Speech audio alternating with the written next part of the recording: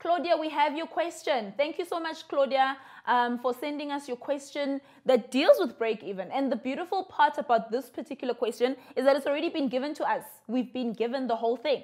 So we just need to interpret what's going on in this particular question. So the question says to us, uh, Peter wants to start a lift club. So Peter wants to start a lift club and he wants to know how many people he needs to give a lift in his car in order to break even. There, we've got that word again break even. Um, on petrol costs. So, what they're asking us here is how much does Peter um, need to make in order for him to start making profit basically. So yes, I've got all these people in my car coming onto my car, but at how many people am I going to start making profit? At how many people am I going to break even? This is what I need to know. Um, people are not willing to contribute more than 20 Rand per day. I wonder where exactly they are going and for how far they're going. Um, he gains a new passenger each week starting with one passenger. Answer the questions that follow. So you can see with this particular graph um, that we've got the petrol cost on the side there, which starts at about 160. So our scale here is 160, if I am correct. Um, 160, 320, 480, 640, and so on and so on, um, going up there. And then we've got the days of the week.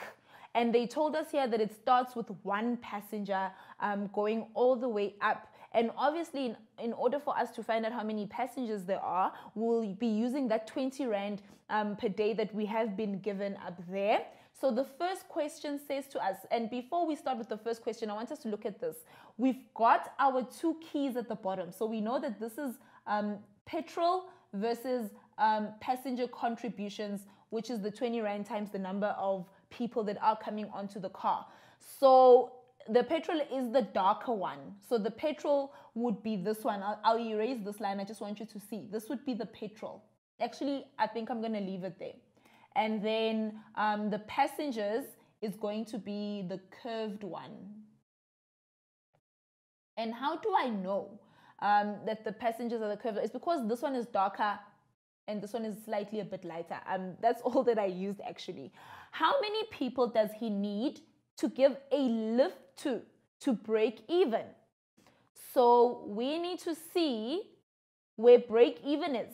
But here it says to us that break even is at, um, wait, it says to us how many people does he need to give a lift to to break even if his petrol costs 1,200 Rand per month and why?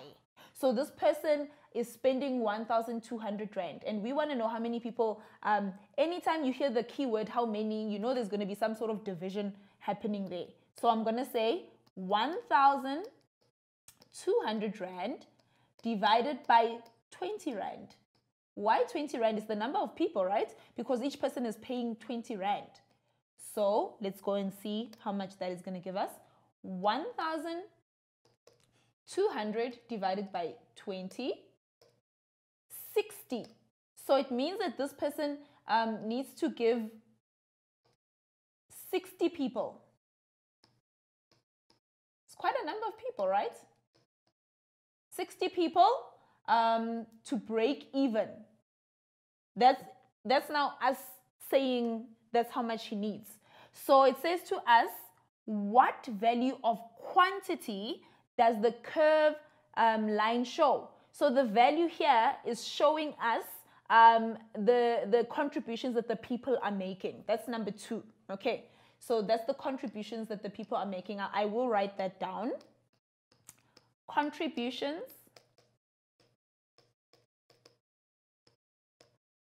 made by people.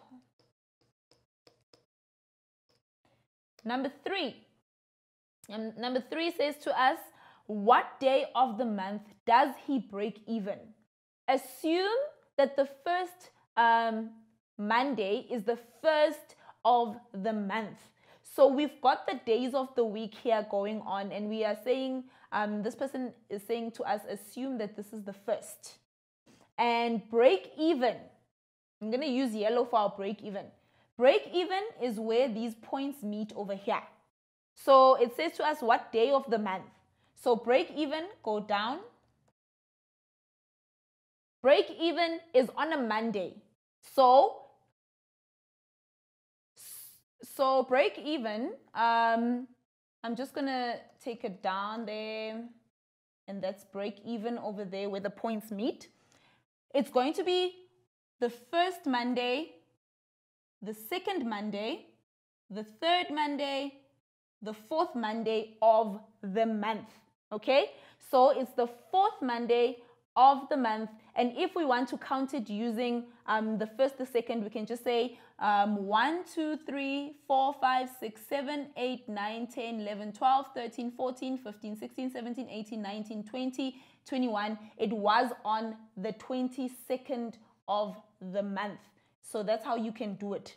Creating your own little um, calendar there, 22nd of the month. And if they asked you which Monday, it was the fourth Monday. It was um, the last Monday of that month. Okay, I hope we are making sense and we are moving together. Number four says to us, why does the curved line overtake the straight line? Let's go see. Does the curved line really overtake the straight line? There we go. We have our curved line, like I was saying, and over there, by that little dot that I've drawn, it starts overtaking it.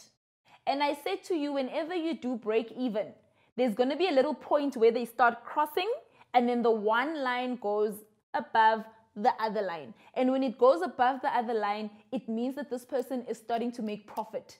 Anytime someone starts to break even, they are making profit. So if you are running a business and you are not breaking even, it means you are not making a profit. There's some free knowledge for you right there. Um, so going on, number five says to us, what profit does he make um, each month? Use income and expenditure um, profit formula. So the income and expenditure formula, basically, this is what they're talking about. Um, it's it's going to be income minus expenditure, and this is basically going to give us the amount of profit that this person um, is making every single month. So that's the formula that they're basically talking about there. Number six says to us, assume um, that he has to service his car every six months at a cost of 1,000 Rand. Is this still a viable option for him? And you need to do this based on your calculations. So we know already, we know already that Peter needs to um, spend 1,200 Rand on petrol already. We know that already. And we know um, it's about 60 people or about 60 trips that he's making maybe with the same person or however number of people. So now he has to go in and he has to service his car again on top of that. Um, and your assumption is purely purely based on the calculations that you have made and you you basically comparing these two together and saying yes this person um, is making enough. So let's go see on this particular one. And if you go up you can see there he is this line well ends at about i'm to go sideways. So we're looking at about 1500 rand basically that he's making okay but with that type of money, let's go see. He needs 1,200 Rand for petrol. Ooh, 12,000. 1,200 Rand for petrol plus 1,000 Rand for service.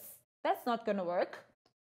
So he's basically spending um, 2,200 on his business and it's not a viable option at all. So you go in and you say, no, it is not a viable option because um, he is then spending more money than he is making.